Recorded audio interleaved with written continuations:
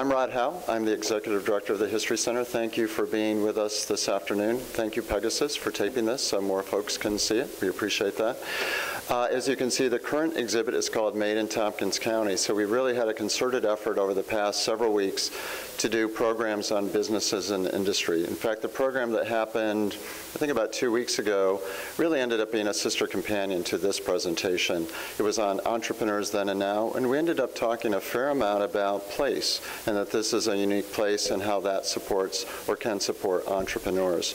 We invite you to come back February 18th. It will really be our final program in the series as part of this exhibit, and it's going to focus in, on the Ithaca generator uh, and the maker space movement, uh, encouraging us all to make things uh, here in Tompkins County. So we hope that you'll be able to join us for that. Martha Armstrong uh, from Tompkins County Area Development has been great to work with. She really put it all together. I, I thought that I'd have to do more, but Martha just swooped in and made it all happen. So I'm going to turn it over to Martha. So thank you very much, Martha. Hi. So um, we are doing a session on place, as uh, Rod said. I thought I would just introduce myself really briefly. I work with Tompkins County Area Development, which is the county's economic development agency, which some of you know very well, and some of you may not have ever heard of us. We're upstairs here in this building. Uh, we've been in business for since 1964. I've been there for the last 20 years, which is like an incredibly long time. Uh, my background is I'm in, uh, went to University of Washington for BA in architecture. I got an architectural license, and then I moved to Ithaca, worked here for a few years in architecture, and I moved here because it was a cool place. And from New York City, which was a little bit of an overwhelming place for me. And um, now I got a planning degree at Cornell, and I've been working in economic development pretty much since then, a little bit of community development with the city. And so that's me. I'm going to introduce our panelists very briefly, and then they're going to say a lot more. Nick Nickitas is, uh, his most recent venture is Rosie, and he'll be talking about that. But before that, he worked for a couple of uh, financial services, kind of technology firms. He worked uh, based in New York City and in Frankfurt, Germany, and he worked in those positions connecting with customers who were really all over the globe. Um, he has a BA in philosophy from Lehigh University, and he earned an MBA at Cornell, where he was a Freed Fellow and a Weil Entrepreneurship Fellow. Congratulations, Nick. I'm sure those are big titles. His hometown is Brooklyn, New York, and Old Greenwich, Connecticut. Two hometowns. All right. Uh, next, our second speaker will be Julie Baker with Ursa Space Systems. Uh, she's a co-founder there, and the data operations. What was the word you had for that? Oh, The The Duchess of Data, yes. The Duchess of Data at Ursa Space Systems. Uh, She's previously done a lot of r and D development work of uh, products in the uh, computer technology area, doing software engineering also at the um, Fraunhofer Institute for Manufacturing in Stuttgart, Germany for several years, so she's also a world traveler. She grew up near Houston, Texas, lived in the Southwest and in California. She has a BA in music from University of Texas in Austin and a Master's of Science in uh, Computing Science from Stanford University. She was a music teacher before she started taking some math classes, I think partly to get out of that teacher role. And so that's a great background. Uh, Gary Woloszyn, we're moving a little more local here. I'm moving progressively closer, I think. Uh, Gary grew up in Rochester, right? And uh, he started working uh, when he was a kid, uh, as I did, carrying a newspaper. That was one of my first paying gigs besides babysitting, was newspaper delivery. And then Gary worked in a, uh, a department store for a number of years where my sense is from the little bio you sent me that you actually really did on, on the job training to become a manager in, in retail. Yeah, so I thought that was really a nice differentiation. We have a couple people with master's degrees, but we have somebody who really came up through the um, on-the-job training kind of ranks, and I love that. I love having a little diversity in that uh, because that's a, a great way, and a lot of people still, I'm sure, take that path. Um, he moved here to Ithaca almost 25 years ago, 1993. At that time, you probably had little kids, and they're probably all big kids by now. Uh, And you've been an outstanding public uh, servant here in town, working with United Way, Public Library, Food Donation Network, Science Center, Hangar Theater, the list goes on. He's also on the TCAD board, as is Julie, so I'm pulling a couple people from my board today. And um, so we'll look forward to hearing your, your story with Wegmans. And Julie Crowley, uh, hometown girl, grew up here, multi-generational family in retail. Uh, You went off and did a few things in the interim. You got a, let's see, somewhere you have a a bachelor's degree, which I've lost my thing here, in accounting, that's right, at Niagara University. Uh, Did some work in Texas and and Alaska, in, I'm guessing the oil industry, both those locations? Yeah, and then went to BU to get a MBA, joint degree, MBA in Management of Information Systems, kind of cool uh, combo degree there, again, left town for a while, but came back and is running the family business and picked up uh, Gourmet Coffee, which turned into Ithaca Coffee, and we'll be learning more about that story in a minute. And just a setting for this, uh, Rod asked me to think about the importance of place and in thinking about having people come speak to that question. Uh, Historically, place often for business was about a commodity of sorts, you know, it was about coal mining and the- where the coal came from, and then you could have a manufacturing plant near there. Or even in Ithaca, we had water running down through creeks that was driving the mills. And so location was kind of about you know, a very strong connection to the place as to what you could do with that place. You know, was the soil good enough to have agriculture? I mean, we still see that. The higher plateau, as soon as you get the north part of Tompkins County and there on up to Lake Ontario, you have great soils. And so you can have these huge dairy farms. You can have the grapes. You can have the, you know, huge farms of beans and cabbage and that kind of uh, commodity growing that we have. That has to do with place. You get the south part of our county where it's all hilly like this, not so much farming going on. There's some valleys where it's fertile, but it's a whole different arena of what you can do there and what kind of resources are there. Shipping, transportation has been a huge history of place, and we do have a little bit of that in Tompkins County. Steamboat Landing, where our farmers market is, was the steamboat landing, and uh, we were shipping gypsum out of there in the late 1800s, late, sorry, 1700s, early 1800s. Um, I'm sure many other things were transporting in and out of there. Places like Chicago probably got their going with shipping lumber out through the waterways. And so there's these histories that are, have to do with the place and why things are there. But now things are kind of changing. And we actually, TCAD, one of the number one things for us for trying to retain really great businesses here is that the CEO likes Ithaca.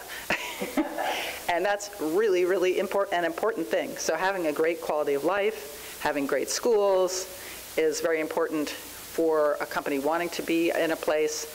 Another big thing now is really the labor market. And depending what kind of company you, company you are, you might pick for different labor markets. So you might want cheap labor, you might want, uh, you know, just sort of hardworking blue collar labor. You want, might want high skilled labor, like people coming out of Cornell. You might want, um, you know, something else. You might want really diversity. You might need diversity in your company for some reason, or you might need multilingual people.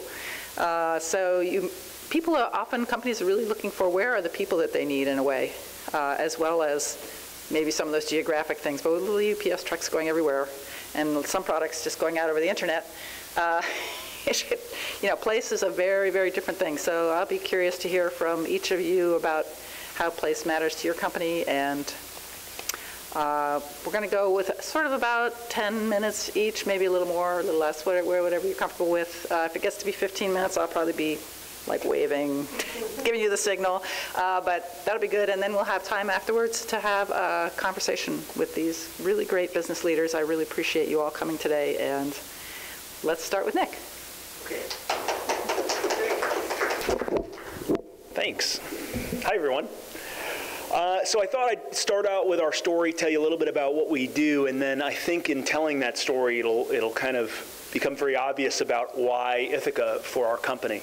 Uh, so uh, Rosie uh, is the grocery industry's leading provider of e-commerce, data analytics, marketing, and delivery logistics. We focus entirely on this one segment of the market called independent grocers. So independent grocers are privately owned and operated businesses, and they're really the backbone of food security and food access in the U.S. At the, at the small end, it could be a one to two store retailer, a mom and pop shop, and on the larger side, it could be Wegmans, right? Up to 250 locations, up to 10 billion a year in revenue. That's really the segment of the market we serve.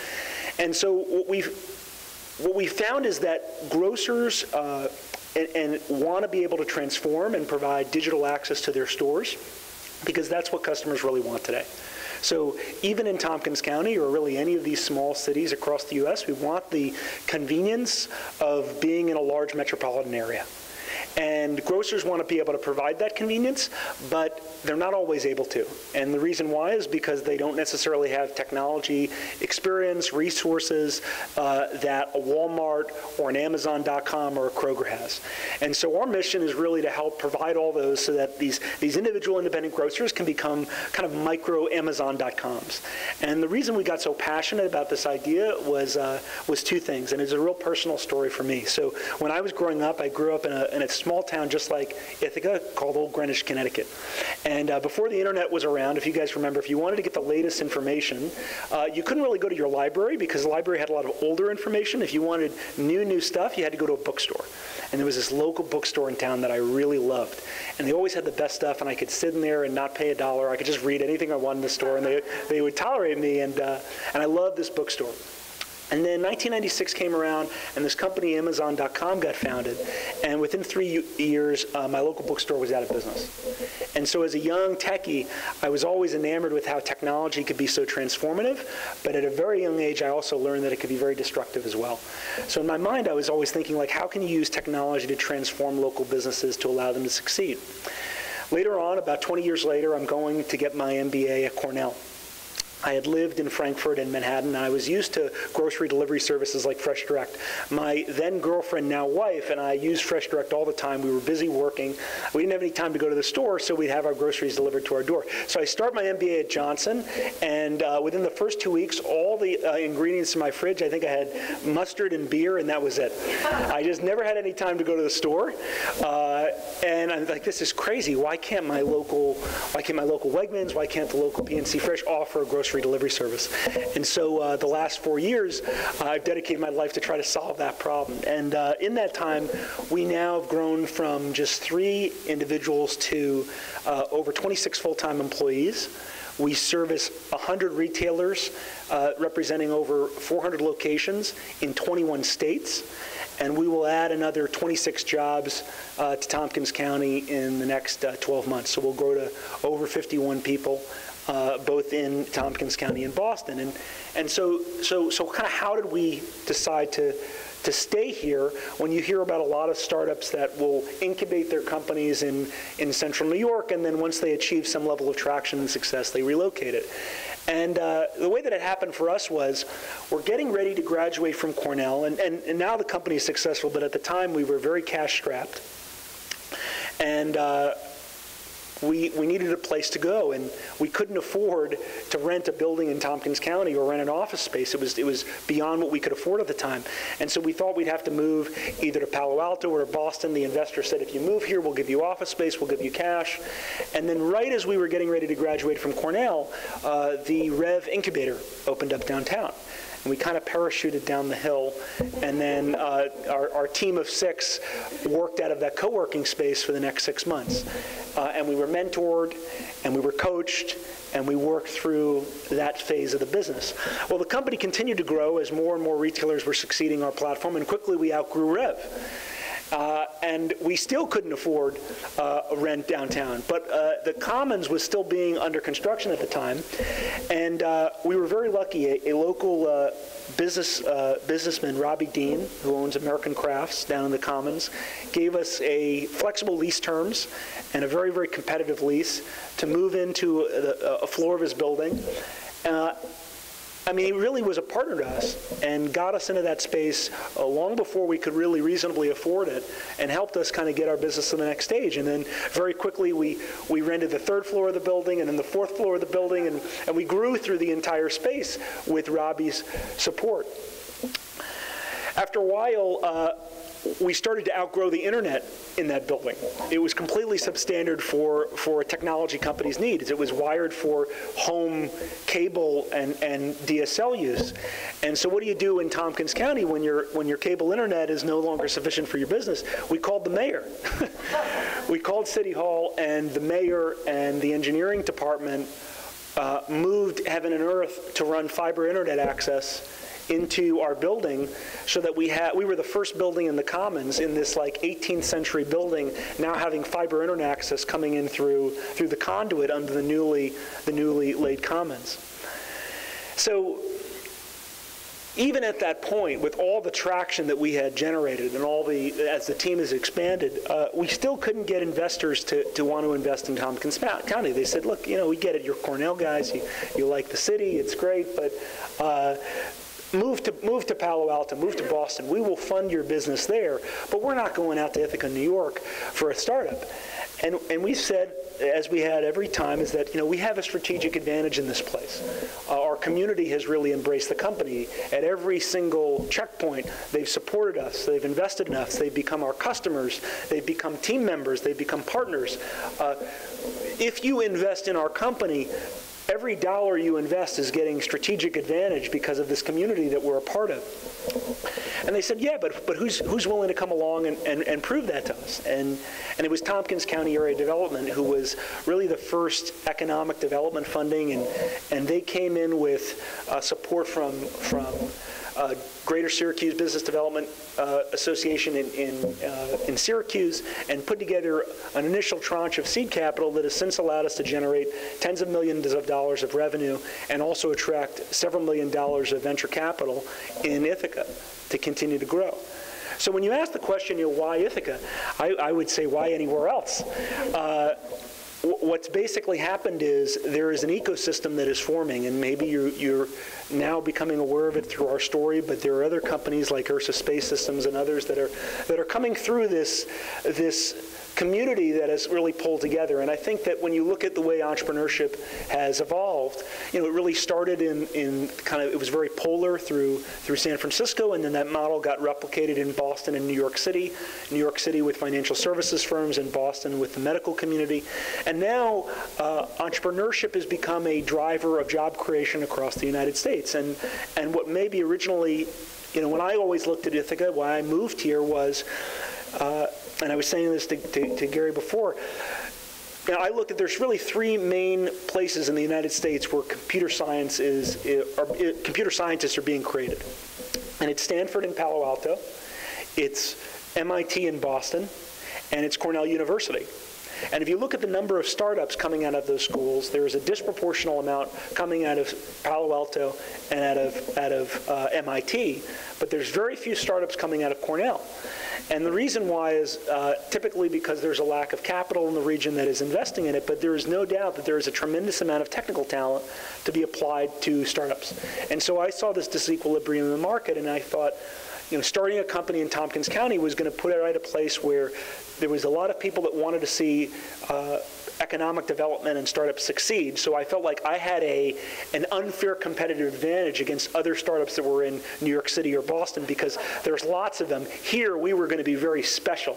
We were going to be a big fish in a little pond. And then there was a a plethora of extremely well-educated, very talented engineers, the same people that are going to Google, Facebook, LinkedIn, NASA, Goldman Sachs.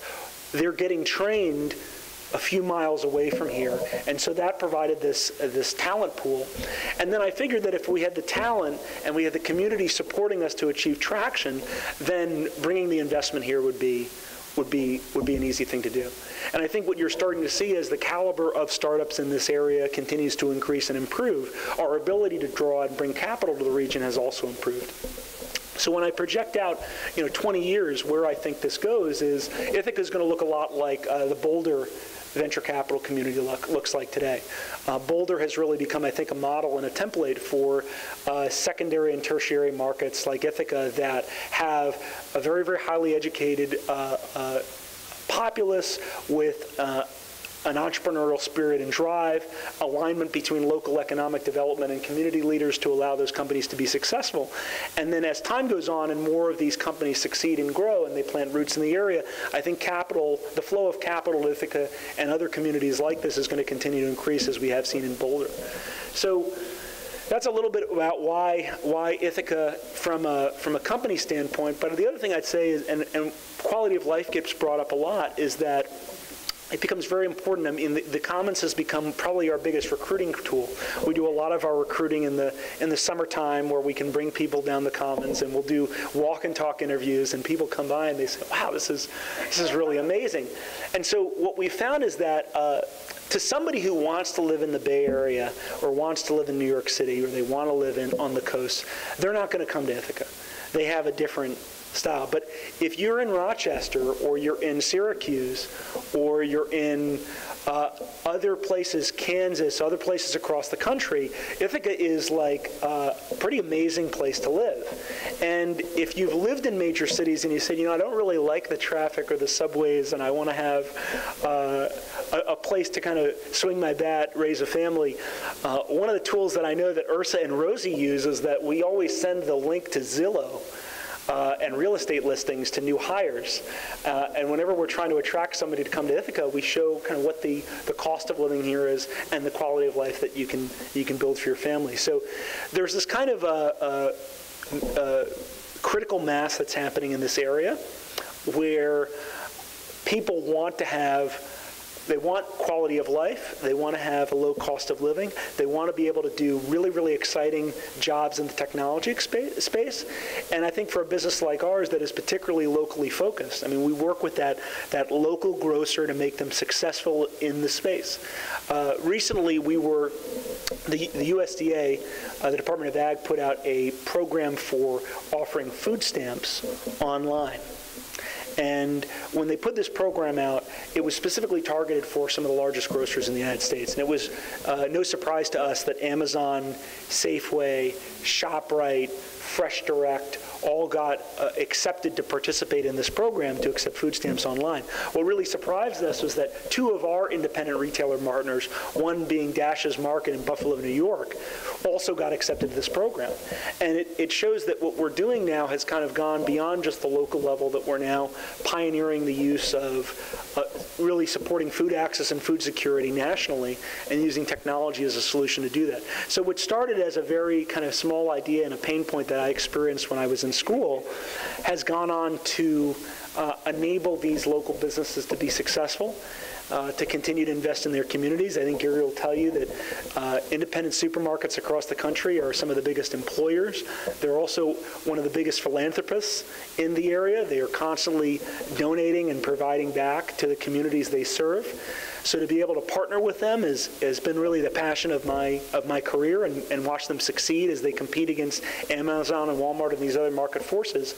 But then also to now have created a business that's provided great jobs for uh, 26 people and soon to be 51 uh, in a community like Tompkins County has just been, has been terrific. So I'm looking forward to hearing your questions. I'm going to hand it over to the other panelists, but thank you so much. Thanks, Martha and Rod, for the invitation to speak. I appreciate everyone coming out today. Get a chance to tell you a little bit about Ursa and why Tompkins County is important to us. As you'll see, place is important to Ursa at many levels. And see if this, this works. So at Ursa Space, we're a data analytics company. We take satellite imagery we do some image processing on it, and we deliver insights to customers. In particular, we use radar imagery. And this is an excellent example. I'm sorry everybody up here can't see the screen, but we've got on the left you have an optical image, and on the right you have a radar image of Ningbo, China, taken on the same day. And on the left, this optical image is a beautiful picture of clouds. on the right, you see much more detail. You get very rich information from the radar.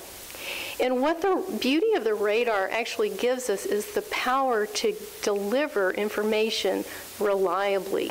So whereas other people might be using optical satellites and, and, and doing analytics on optical imagery, it may be months before they can actually get a clear image of a location that they're monitoring. For URSA, when we focus on the radar, we can reliably deliver products every week. So this is, this is the benefit of that. This is a simulation of all of the commercial radar satellites that we have access to now. And there are actually 12 commercial satellites in orbit. Effectively, we get a virtual constellation and can get information about anywhere on the Earth every 12 hours. You see, they're going in sun synchronous orbit from pole to pole, and they go over in the morning between 6 and 7 in the morning, and then again in the evening between 6 and 7. And this is what gives us the ability to get information twice a day. We go all the way from satellites to insights. We do all of the hard work for you so that the customers only need to get the, the answers and the insights. So we take all of those images and the data from the radar satellites that we have access to. Our team of image processing experts create algorithms to get the information out of those images and then we deliver it to the customers in easy to use, intuitive formats that are really tailored to the application that we're that we're providing and the kind of information that the customer wants to get. So we can provide reports, we can provide information on maps, and that here again, this is the place connection, and then an API where you can actually um, have a machine-to-machine interface for people who want to do their own analytics. So an example of an easy-to-use interface is Ursa Maps that we developed last year. This is a, a really interactive application where you click on the clusters and they open up. It even works on your mobile device. Very intuitive. It's an example of the kind of information we can provide.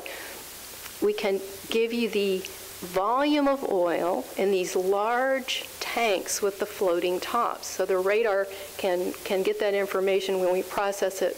We can display it here.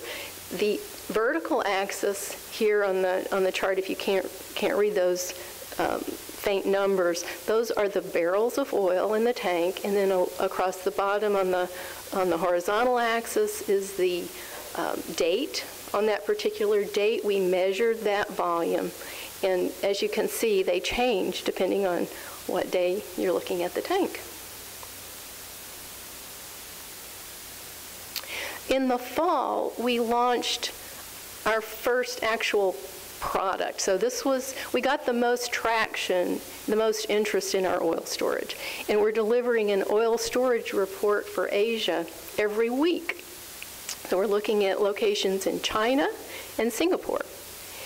The um, quote over there on the, on the right side of the screen is from Colin Fenton. We started working with Colin last year as, as an advisor to, to us because he came from, before he was at Blacklight Research, he was the um, at JP Morgan Chase as a managing director in their commodities group, and he led their, I think he was the chief commodity strategist there.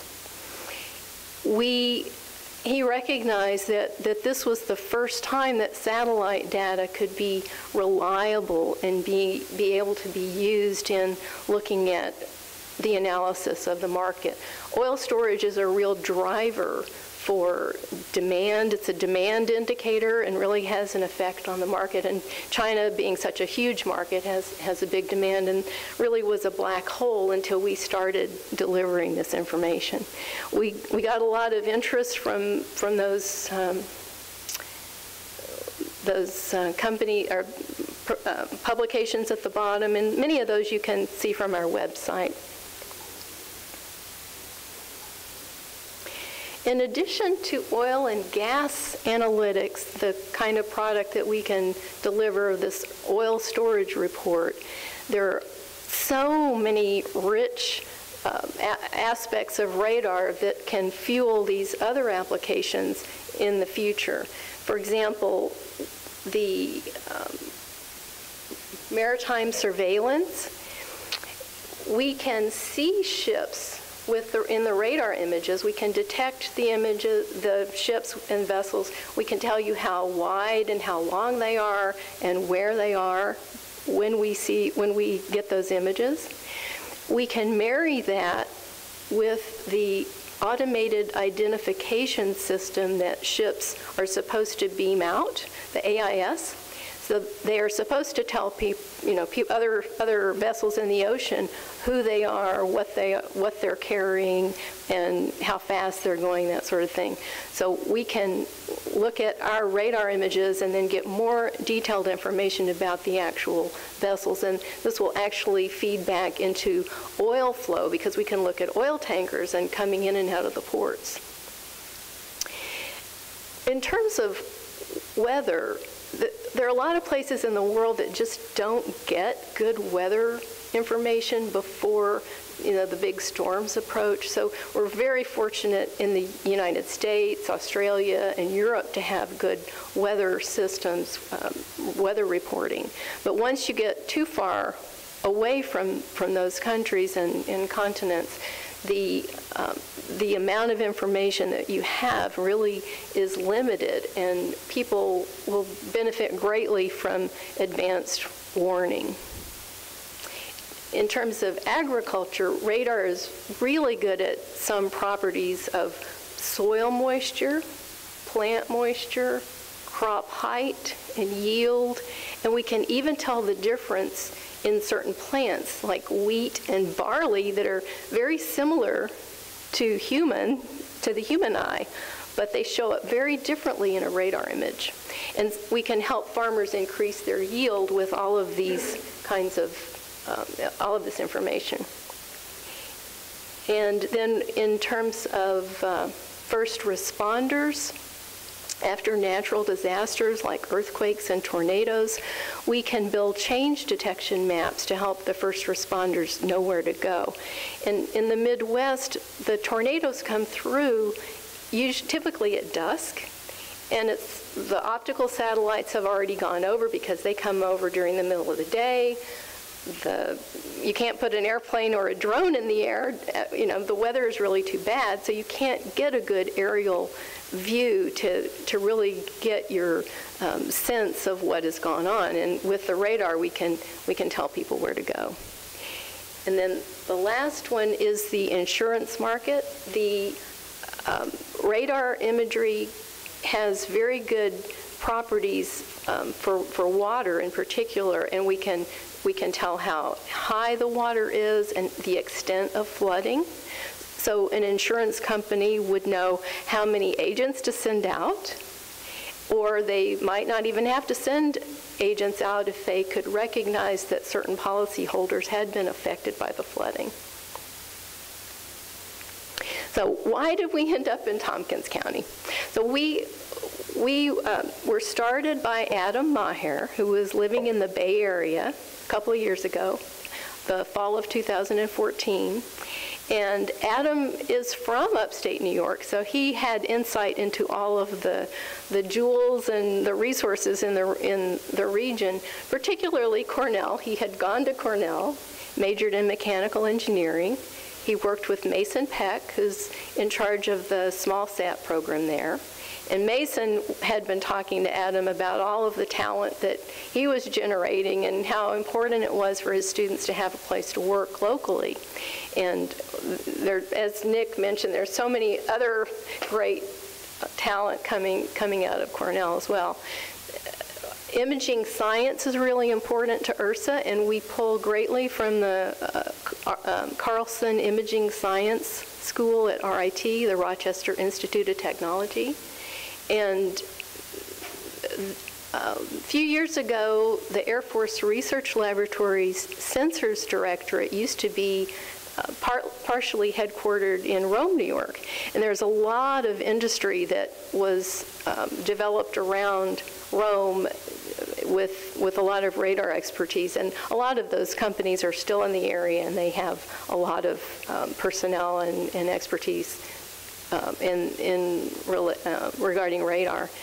And as Nick mentioned, the REV Startup Incubator uh, was established in the fall of 2014 by TC3, Cornell, Ithaca College, and that was another, that was actually where I met Adam. And uh, one of the entrepreneurs in residence, Brad Treat, introduced me to Adam when, when Adam came to Rev. And um, we were actually working alongside Rosie for about a year and a half and graduated and moved into this building. And as, as Nick mentioned, the housing costs were, were uh, much lower here, and it is a big draw for people who want to own their own homes. You know, if you're living in the Bay Area, you, you can hardly even afford an apartment, much less a home. And Adam knew that moving his family here, he would be able to afford a home. So that basically wraps up my presentation about URSA and why we are in Tompkins County and all of the great reasons. And traffic is another one, too. You can get across, you can get across Ithaca in 15 minutes most of the time. So, thank you very much. I'm Gary Woloszyn. I'm store manager of the Ithaca Wegmans. I've worked for Wegmans for 36 years. Uh, we just celebrated our company's 100th year anniversary. Um, you know, a little different than these rookies over here. but uh, again, a lot of the same excitement, you know, the aspect of who we are and what we could be, uh, how our companies are growing, a lot of similarities and just the excitement in their voices. Uh, we're very proud of being a New York State homegrown business. I asked Robert once, uh, we were having lunch, and he showed up during a snowstorm, uh, and I said, for the love of God, why, why are you here? And he said, well, I mean, no one was in the store. There were no customers. It was probably six inches of snow and slush. And he goes, well, I don't drive. Someone drives me all over the place. And I love coming to visit. And uh, I said, well, even beyond being here on a snowy day, why are you in New York State? You could be anywhere you want to be. And he goes, I love this place. He goes, I grew up in New York State. Uh, I, I love seeing the people that work for this company, and I'd never go anywhere else. So, you know, it's kind of his commitment to our state. Uh, revisiting why we chose to come to Ithaca is timely because we've been pulling out a lot of our history. You know, uh, what have we done over the last hundred years? What have we done in each location that we've been in? We've been celebrating individually, store by store. And as fate would have it, uh, one of my previous assignments with Wegmans back in the 80s, I was on a focus board as we decided on whether we should build a store in Ithaca in the first place. Uh, didn't know that's how any of this was going to turn out. Uh, some you may remember that we had an original store in Ithaca. We opened it in 1988. Uh, nine years later, we demolished it and built the current store that we have. Certainly, there were many things to consider when we built our first store. Uh, we were and still are. Uh, we're considered a small grocery chain. We have 92 stores. Uh, I remember sitting with Danny at one point, and he goes, I don't think we'll ever have 100 stores in my lifetime. That was years ago, and uh, we will have 100 stores in a lifetime uh, with the rate we're building stores. Uh, we just happen to build large stores, and we have a mantra of one-stop shopping, and that was a concept that Robert Wegman and Danny Wegman put together in the late 70s as far as converting our stores to a supercenter, if you will.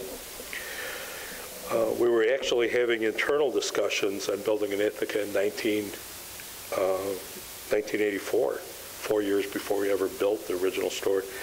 Um, you may keep up on Wegmans, and you know our consumer affairs vice president is Mary Ellen Burris. Uh, Mary Ellen worked for Co- Cooperative Extension before she ever came to work for Wegman. So she was lobbying Robert as this could be a good place to consider. Uh, And when they looked at Ithaca and they looked at the area and why we originally built in Ithaca 30 years ago, uh, we were impressed with the diversity of the region, the educational background, and the acceptance and appreciation of great food. Uh, We are successful as a company because we, we have a lot of items for people to choose from, and we enjoy doing uh, marketing to areas that would appreciate something of that nature. Later, when we rebuilt our current store, we built a prototype store. When we built the store that is on our site here, we had, we did not have a two-tier store anywhere in the company. Uh, In fact, when we went to our city planning department and brought them blueprints of what we were going to build in Ithaca, it was a single-level store. It just took so long to get through the red tape. Uh, Danny came up with this new concept. And they're personally involved with it, just as these folks are with what it should look like, what we should be doing, down to choosing the floor tiles and choosing the wallpaper, uh, the layouts of the department. I sat in Danny's office with them for weeks with a blank blueprint, writing things in and erasing them and starting all over again. Uh, Again, there were a lot of market factors, as there is today, in the 90s that were evolving, both with technology and with the direction groceries were going. Uh, Frozen dairy products, refrigeration was expanding. The people who actually uh, would wholesale to us, the lines were, I mean, when I grew up as a kid, the only frozen meal you had was Swanson Hungry Man meals. You had one choice. And uh, if you look at the frozen departments now or the dairy departments now, just the depth of selection, uh, incredible. And, and stores weren't built in those days to actually market those products to people. So uh, we have a corporate philosophy. And, and this was kind of the time that we decided that we would, we would address building a store using the corporate philosophy. And I thought I'd bring some uh, more powerful folks to share the I am a merchant statement with you. This is Robert's statement, so if you don't mind playing it. Robert Wegman and Danny, yep.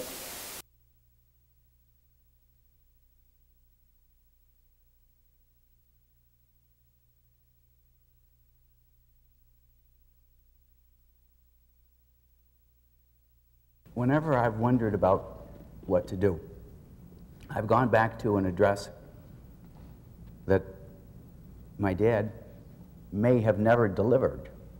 Uh, but I think it's the greatest speech I've ever read, and I continually go back to it. And we've uh, come to call it the I Am a Merchant speech. And it reads I'm just going to read an excerpt from it. I am a merchant, and I have, therefore, my own philosophy, philosophy about merchandising. About merchandising. And And that- that is to do something no one else is doing and to be able to offer our customers a choice they don't have at the moment. This is the only reason for being in business. My way of thinking, this is the only way it should be. I think that uniqueness gives one an opportunity to make a profit. Good merchandising resolves itself into rendering a service in such a way as to be difficult for your competitors to emulate. This is the basic premise in which we at Wegmans operate.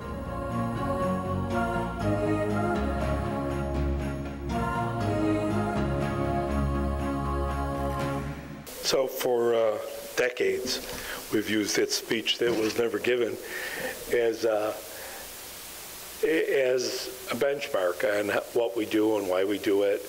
Uh, It actually transcends the grocery business. I mean, it- it- when you look at any type of business, being able to offer uniqueness, being able to do it to the best of your ability gives you an opportunity to be successful.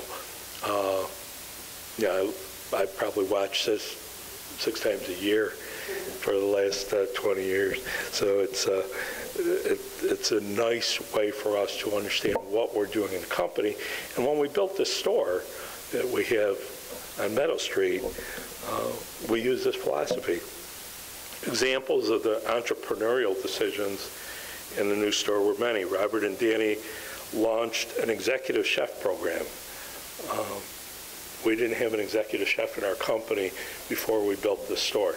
And I remember sitting with Danny for months in his office talking about the purpose and how we would, what would be a job description and what would be the expectations and how would we measure success on that individual.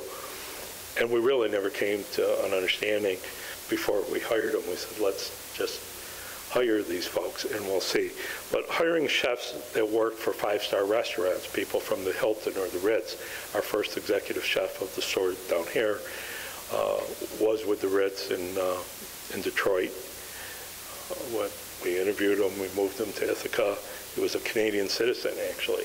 So he had a green card. I don't know if he could get into the country today, but uh, he's, uh, he's a vice president at at corporate at this point in time. He moved through the stores and he works for our corporate office. But again, the expectation happened after he was on board. Uh, So it wasn't only to deliver high-quality food and recipes to our customers, but was to be embedded with our employees, uh, to be a mentor to the entire staff of the store. And to this day, that's how our chefs interface. Um, Some of you may hear Mike Washburn on the radio uh, for over a decade. He's had a radio talk show of uh, calling to the chef and enjoys it. He loves it. I try to have other people do it, and he fights me tooth and nail to still be able to, to be on the radio. Uh, But he loves interfacing with people. And one of Danny's thoughts at those points was, where, where do you get to talk to a chef? Where do you get to actually ask someone about the recipes, the, you know, the, the different type of taste that you're trying to blend? Maybe you have it on, uh, you know, uh, an old recipe, a family recipe, but you don't really understand why the things work the way they work. So when you find someone who's culinary trained, who loves food, just literally they, they absorb uh, not only magazines, but shows and books, continual learning, uh, it really gives us, as Robert was saying, to opportunity to do something nobody else is doing. Uh, Beyond that, we, we uh, asked them to do a step more, and it was to put themselves into the community, to, to actually be a resource for the community. And Michael was just sharing with me today, he had a, a group come through from Cornell yesterday. Uh, Well, I was out of the store, he goes, you know, I know you wouldn't mind, but I took a group of, one of the professors called and asked them to show some visitors from Japan our store. And that happens probably uh, at least half a dozen times a year, you know, whether there's folks from South America, whether there's people from uh, Asia, whether it's ironically even competitors. Uh, Michael also will go up to Cornell and he'll lecture in the hotel school or at the nutrition classes and share his thoughts and his knowledge with people that are uh, either learning it at the first point or uh, maybe just want to enhance it. We work very closely with TC3. Uh, We've worked with the Coltivare. Next week we have another meeting with uh, Carl and his team to keep the interface going between our company and TC3 to help those students at least consider a culinary direction through Wegmans. And not just our store, uh, whether it's the Southern Tier or the stores that we're building. Uh, Beyond the chef concept, we, uh, we expanded in our new store here back 20 years ago, we expanded the cheese programs. And people said, well, why do you need 600 types of cheese?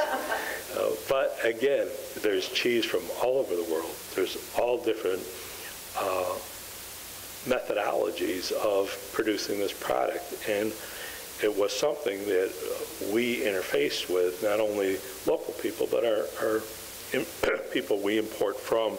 So over the years, our relationship grew, and we decided we could do a better job with imported cheese, and we were- could do a better job with local New York State cheese producers if we help them ripen.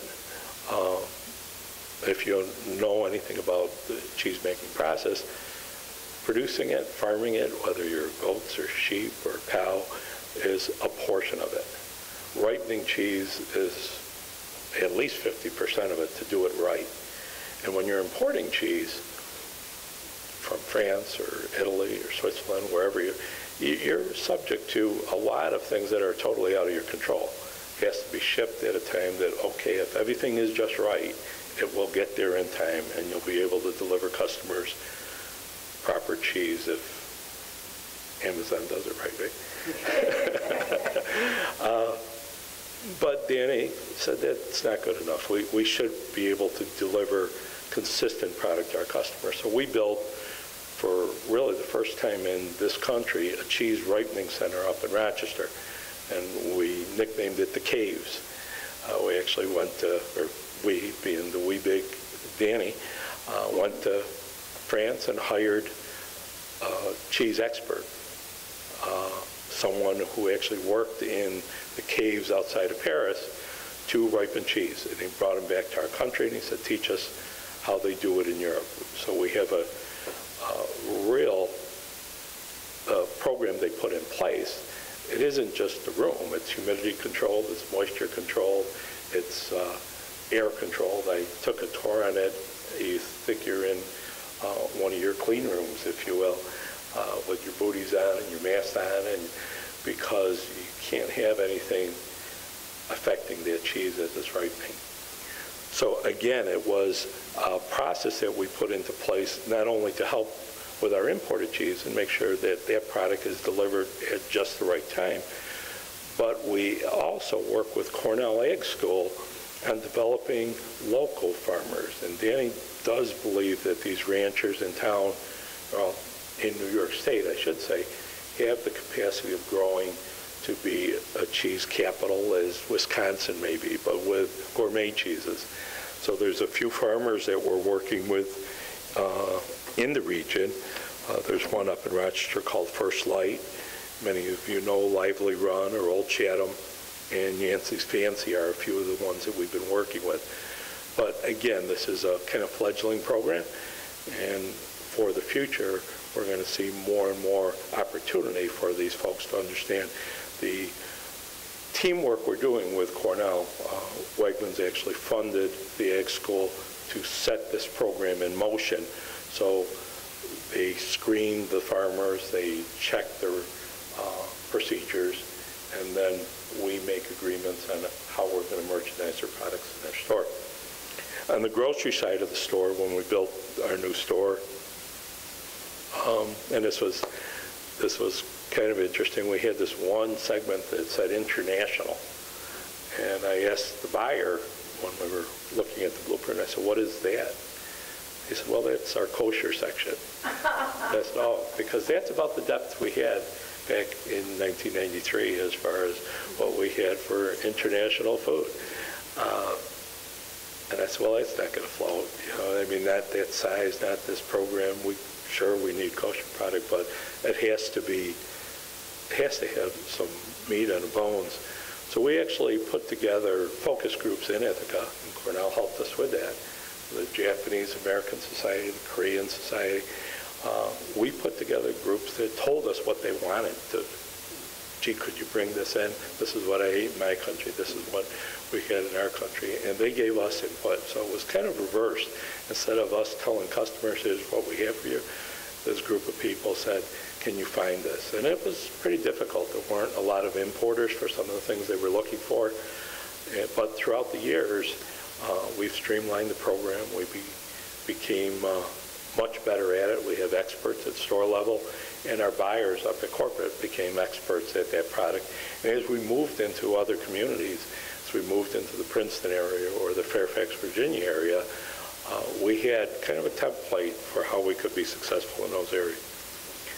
Uh, Lastly, and th- this is part of our tradition, if you will, as a company, and it's been that way for, for that 100 years. We've always been part of our communities. Robert believed that there was a cyclical nature to strong communities, that communities that support nonprofits, communities that support schools and museums, that get engaged uh, communities, that right down to the grassroots level, that those are successful communities. They're great places to do business because it's a cyclical return all the way through. Uh, It kind of matches our own values. We have those hanging in our, all of our conference rooms, what Wegmans' values are and what the expectation is. So uh, I'm very proud of the company's efforts in Ithaca. I think you mentioned a number of them initially.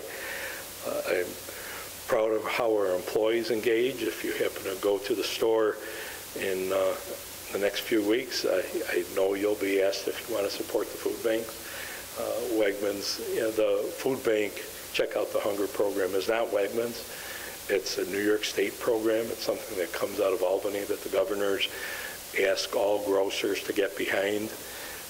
Wegmans in New York State, Wegmans customers, to clarify, it, support 80% of that program.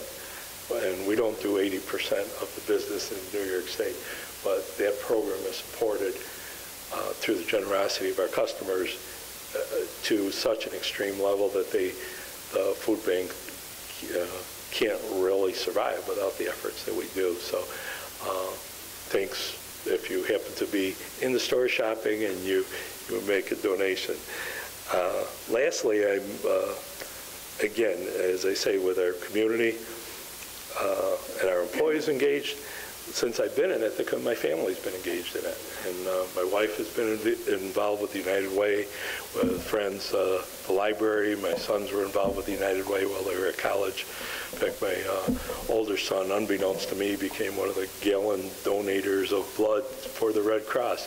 So I think if you walk the walk, and that's what I see with Danny and Robert and Colleen, uh, we get the results, we get a strong community, and we're able all to pull together. So thank you all.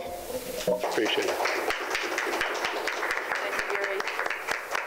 And uh, Wegmans is awesome, right? What can we say? Julie Crowley, Ithaca Coffee, also awesome. Hello. Uh, I own Trip Hammer Wines and Spirits and Ithaca Coffee Company, and I'm here because in uh, Ithaca Coffee, I'm here and Ithaca Coffee Company exists because my grandparents owned a, uh, opened a liquor store on 222 and one half South Cayuga Street in 1941. So there was like an auto repair right behind there, and I believe the building was not big enough for a bathroom. So that's where we started. And then in my lifetime, my father um, moved the business up to the Trip Hammer area and, uh, um, and built that business up. Uh, And this year, we uh, celebrated our 75th anniversary of the liquor store. So that's, that's something. Um, So I'm the third generation. Uh, I grew up here. Uh, I attended Lansing schools. Um, I'm one of those that left for 20 years and came back. Uh, I got an accounting degree from Niagara. I went to work in Houston as an entry-level accountant for Standard Oil and got transferred up to Anchorage. And I was in Anchorage for, I promised I'd save, stay for two years, and I stayed for nine. Uh, And then uh, went to Boston University, got an MBA and a master's in MIS, and moved to Portland, Oregon, um, and did work as a uh, enterprise systems consultant. Then in 2001, the bottom fell out of the market. Um, 9/11 happened, and I thought hard about coming back home. I think a lot of people did at that time. So I'd say my business uh, success here is based on relative ability, which is something I learned in graduate school. Uh, My father built up a nice business at Trip Hammer, um, growing with the development of the wine industry and certainly the Finger Lakes wines, which speaks to place. Um, He was established in the community with customers and vendors. Um, He was honest and trusted, and uh, had seen a number of liquor stores come and go over the years, and, you know, persevered. So when I came back, we were in a good position to grow the business. So after crisscrossing the country, I came back in 2002. Um, The A&P, if you've been around for a while, you remember the A&P up at the Trip Hammer Mall had just left. So um, I said to him, that'd be a good opportunity, and he felt like he was getting a little old to do that, so that's kind of why I came back and joined him. Uh, So we moved into that, a portion of the space in the A&P in 2002, more than doubling the size of our store, more importantly, putting the warehouse behind the store So you can actually bring it in the back and go out the front, which wasn't the case previously. We were hauling stuff from the other end of the mall. Um, So over the next 10 years or so plus, we, you know, kept adding to the business and improving it. Um, uh, One of the things we added was, uh, I think we have one of the the best wine tasting bar in the area and a very loyal clientele for our um, you know, frequent wine tastings. And then for 10 years in that space, I wanted to do something nice, so we built a really nice, you know, wine bar there with counter height, and my father looked at that and looked at the budget and said, "What are you doing? You're not selling a glass of wine." But uh, he did agree in the end. It's a nice, uh, um, certainly generates revenue from people coming in and tasting wines, and, and it looks good. And since then, we've added um, a couple of wine stations, so you can, there's eight bottles you can taste anytime. Um, So, and uh, one thing we used to do is host wine seminars in, in our back room. Um, It's a little, we do serve alcohol, so we're conscious of, you know, over-serving and, and all that sort of thing. And uh, this, is something we want to bring back this year. We're not allowed to, uh, to charge for it, so it's something we need to figure out how to open it up to the people who really want to learn about wines. These are snapshots from our anniversary party. I think these are from our 75th anniversary party last year.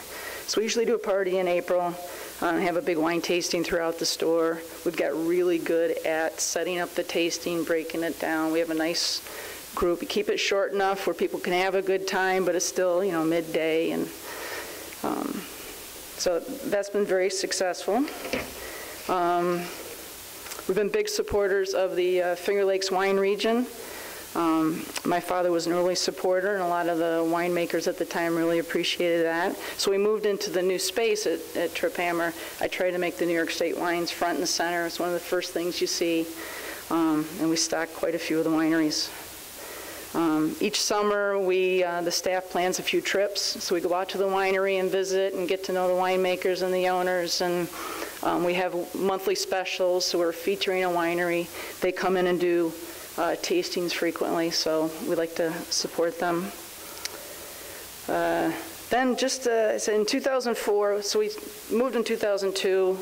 In 2004, I thought, well, yeah, things are pretty settled. Why not, uh, why not shake it up?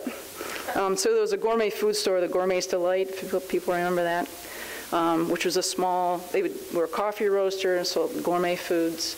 Um, So he wanted to get out of the business, so I bought that. And there was still a space next to us, the store next door, space next to us, at- next to the liquor store. So we have the common entrance, and you turn one way for the liquor store, the other way for coffee company. I thought, what could be easier than adding complementary products? So in the liquor store, you can only sell wine and spirits, so we'll sell beer, cheese and crackers, uh, you know, gourmet foods, roast little coffee. What could be easier? Well, just about anything would have been easier, and it's been a- quite a learning curve. So, and we sell, I say, we sell the fun things, the things that make you happy, so it should be a fun place to come. Um, I was thinking about that, as- as you guys are speaking, you know, your businesses certainly are good for our business. We're here to create the, you know, quality of life and and add to that. And Gary, we're a- a vendor of yours and also uh, a competitor in- in in some level, so it all it all go- goes together. Uh, The coffee company is Gourmet Foods, candy, coffee roaster, you know, hard goods. Um, We do a lot of gift basket business. Um, That is, that's a picture of the coffee company, it's a little busy.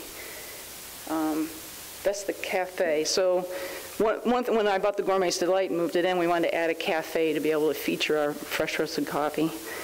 Um, And we added, uh, had a grocery beer license so we could sell craft beer for off-premise. Um, We didn't know how to run a cafe, but we didn't let that uh, slow us down. Um, The first year, we found out that uh, you can't order Christmas stuff in November. You have to actually order it in June. So, you know, it's- yeah, there's a learning curve. Uh, My first manager made it from June when I bought the business to October, so, you know, we had new management come in and, and for the holiday season, so, uh, you know, we learned a lot. Our landlord helped us finance a new uh, coffee roaster when we moved into that space. Um, So we were able to be up and running. So once again, things are going pretty good, so why leave it be? So in 2007, we opened the Gateway location over here. And if you recall, that's the year that they closed the Aurora Street Bridge and practically Green Street to, to build the apartments. So we had a, we had a rough start there. Um, We also tried to replicate what we had at Trip Hammer down at Gateway and found that it's just a totally different market. So it's kind of evolved over the year. People walk in now say it's great. Well, that, that doesn't happen overnight. Um, And we're still working on it because this area has changed so much since we've been down here. There's more residential, more apartments. Um, We added a tavern to the Gateway location. This is actually a picture of Trip Hammer, but we added a tavern down here in 2009, I believe. Um, So we, add- you can buy a glass of beer or wine. um, And it, it's turned into kind of a a little hangout after work. Um, People sit back here during the day, have a cup of coffee. Um, We still close at nine. It's not a a late-night bar. And so we did the same thing at Trip Hammer in 2012. You would have thought the State Liquor Authority had never heard of it before when I already had one from 2009, but the first answer is always no. I said, they're like my father. The answer is no. Um, Right, so we added the the Tavern at Trip Hammer in 2011. By 2013, uh, our coffee roasting operation is in the back of the Trip Hammer store. We had outgrown that, and we also needed more room for the tavern and for the craft beer. So we uh, bought uh, 702 Hancock Street with the help of TCAD, I believe, and uh, moved our coffee roasting operation uh, to this site. And then in- into the the next year or so, we added a a bakery so we could supply our cafes. Um, And in 2015, we added a new um, coffee roaster. Which, that's a picture of our our actual coffee roaster in front of our coffee roaster.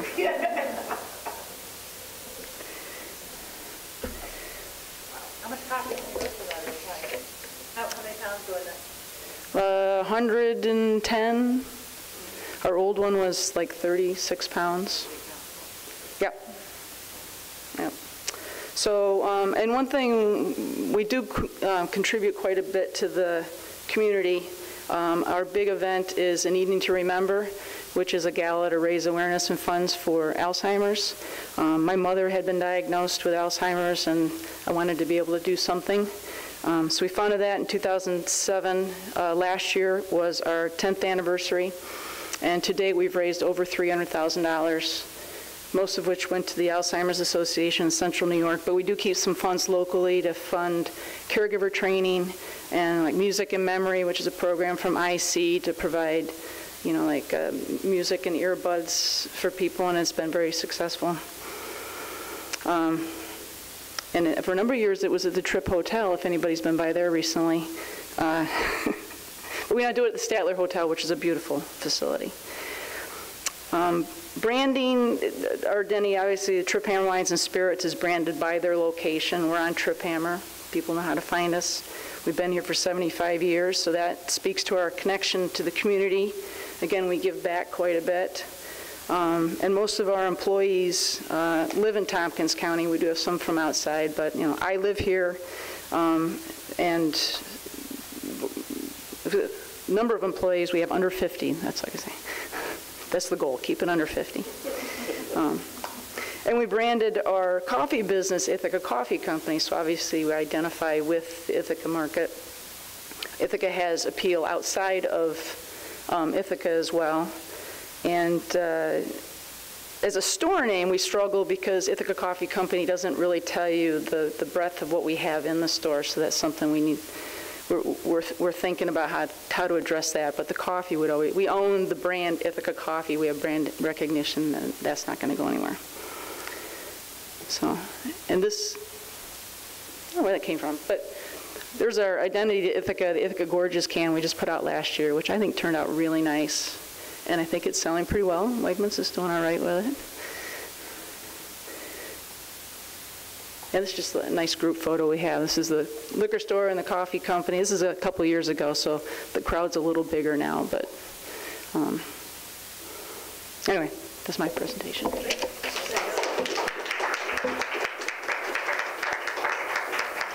Well, thank you, panelists, again, a wonderful array of uh, business experiences and philosophies and what you do and how you're connected to Ithaca. Uh, All great. So I just, we've got like 15, 20 minutes or so, however long, and uh, folks want to ask some questions? When Adam was looking for a name for the company, he had the vision of a constellation of satellites. And he actually looked through a children's book of constellations. And when he came to the Ursa constellation, it's the bear, the Big Dipper, the Little Dipper, but the bear is the Cornell mascot. And so that was an immediate connection for him. So that's how we got the name Ursa. Yeah, I think no matter what story you're in, the folks really feel unique. Yet, uh, I could speak for the family because uh, I've known them for so long, and, and I'll just tell another little short story. But a few years after we opened, uh, I came in one Saturday morning and went upstairs, dropped off my stuff, and was cutting through the upper cafe. It's probably quarter to eight on a Saturday during the summer, and I looked towards the railing towards bakery, and Danny was leaning over the railing, staring into the store. And I said, uh, "What are you doing here?" it's uh, usually they'll call and say, hey, "You know, here I'm coming down for a visit or whatever." But this was bright and early in the morning, and he was just staring at the store. He goes, "Well, I, I just came down to think." I said, "Well, Dan, there's uh, there's a thousand places to think between here and Canandaigua at uh, before eight o'clock on a Saturday morning. So there's something a little deeper. And he said, yeah, yeah, there is. He goes, let's go get some coffee. So went downstairs, got coffee, came back and sat at the railing. And uh, sat for a couple hours actually. He said, you know, we're days or weeks or months away from making a decision to move into New Jersey. And how do I pick this store up with its customers and its employees and drop it near Princeton? he said, I, I just love this place. And there is a, a family connection with it. There was back to Robert, uh, as Robert did all of our site analysis when he was with the company and he chose the site in Ithaca, chose the site in Corning, he chose the site in Binghamton. And he would frequently tell the district supervisor, why don't you take the weekend off? I got your stores this weekend. Uh, and we lost that connection when Robert passed a little bit because both Danny and Colleen are so busy. But th- there's a special place in the Southern Tier for the family. They truly appreciate the feeling of it, the, the uniqueness of it. Uh, it was interesting hearing the conversations about Boulder because uh, in 93, when I came here, Danny took me for a walk through the old store and said, uh, have you ever been to Boulder? And uh, he goes, this Ithaca reminds me so much of Boulder. And I said, no, I haven't. I've been over it and under it, but I've never stopped at Boulder. And then he showed back up in September and he said, have you ever been to Boulder? And I said, Danny, I've been here seven days a week since I moved here. He goes, oh, yeah, yeah, yeah, that's right. And uh, December rolled around and his admin called me and she said, uh, Gary, Danny wants you to apply to Boulder with him. And I said, this is my first year here. I, my first Christmas. I, I can't leave the store. And uh, she said, oh, okay, I, I understand. What do you want me to do with your tickets? And I said, my tickets? And she said, yeah. And I said, well, when is the ticket for? She said, tomorrow morning, 6 a.m. out of Rochester. so I ended up flying to Boulder in uh, 1993, December with Danny, and to look at what you folks compared. And he had the same thoughts. Uh, you know, we visited uh, the Alfalfa, which is the green star of Boulder, and went and had a chair massage in their aisle and had uh, shots of wheatgrass. And, and again, it really trying to understand the culture from Boulder and how it related to this. And uh, what we brought back actually was organic vegetables. We didn't carry organic vegetables in our company. And he saw them out there because Colleen went to school out there. And uh, he said, well, would your customers appreciate organics? I said, they don't ask us for it. They don't, I guess they don't expect it, but no one asked for organics back in the early nineties. And uh, we went to Green Star and talked to the store manager, and he brought us in the back room with his produce manager, and he connected us to their suppliers. He said, uh, you know, we get terrible product coming in Ithaca. It's bruised, it's small, it's old, and if you start buying it, maybe we'll get better product coming in for our customers. And uh, after a few months, they actually asked us to buy from the supplier to uh, Green Star. They actually go to Boston and source our own product, but they connected us all the way. So the folks at Green Star have always been community minded. They wanted the best product for their customers. And again, you see that connection that we have here, you know, carrying the coffee or doing different things with um, the locals, whether it's Ithaca tofu or Ithaca hummus, that if there's a way for us to connect and help other folks, we're, we're always engaged that way. Thank you. That's a kind of wonderful story about how we're like, more like an intramural set of teams here. Like, it's okay, we can be competitive, but we also have like this, I think there's a real energy in the Ithaca area and even in the bigger region here in upstate, like, okay, we gotta, we can jostle a little bit, but actually if we're all lifting and all doing better, that's, we're all gonna do better. It's an interesting story about working with Green Star, where I would have thought you would be like just head to head, or, you know, you've got Ithaca Coffee, you're a little bit competitive, but you're also, you know, you're carrying each other, you're carrying products from Ithaca Coffee at Wegmans, that kind of thing. Um, Any other questions out here? I saw a few other hands out here. Here you go.